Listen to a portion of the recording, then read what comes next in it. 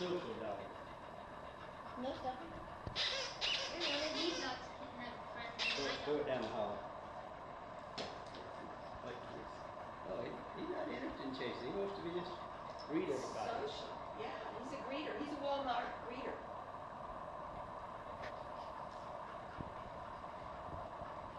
Yesterday I saw for my therapy. I saw there. Oh, you, did you show her your pictures? Yeah. Yeah, you can't see it. What's her name? Baby. Baby. Cake. your baby cakes as well. Window closed.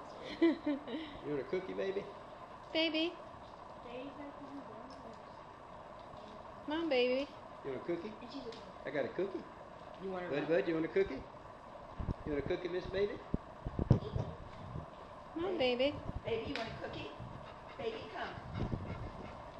This is my dog, Baby. She's over 11 years old. She's a family dog. We all love her. All the grandchildren love her, but she's getting old and she has trouble with her leg back here. And I was giving her medicine from the vets.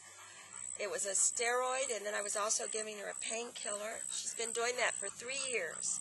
I heard about ChondroPaw and I wanted to try it. She's been on it one month. She's not taking anything else, no painkillers, nothing else. And she is as good as, if not better, than when she was taking all that medicine from the vets. This is natural, so I don't have to worry about her. She's not going to have an upset stomach from it. She's not going to have to check her liver or anything like that. It's perfect. I just wish I had known it a long time ago. I have three other dogs, and when they start having trouble, believe me, they're also going to get ChondroPaw because it's so good for them. It's all natural, and it's the perfect for baby, my dog. Go this way with please. Just great.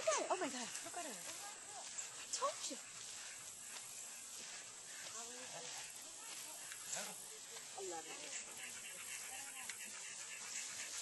Yeah, she's going to get tired because. Good girl. You were excellent. Ooh, yeah. Oh, she's running. She's running. That's a good girl. That's a good girl. Buddy.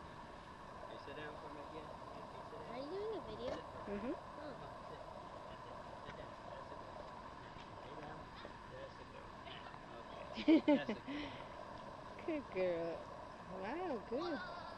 You popped right up, didn't you? She did. I can't believe it. I